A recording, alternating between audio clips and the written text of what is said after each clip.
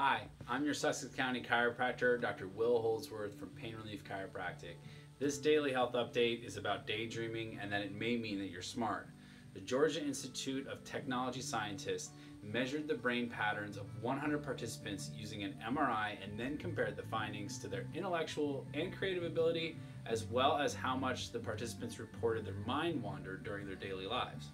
The findings showed that those who reported more frequent daydreaming had higher scores related to intellectual and creative ability and had more efficient brain function as observed on the MRI scans. The study co author, Dr. Eric Schumacher, writes People tend to think that mind wandering is something that's bad.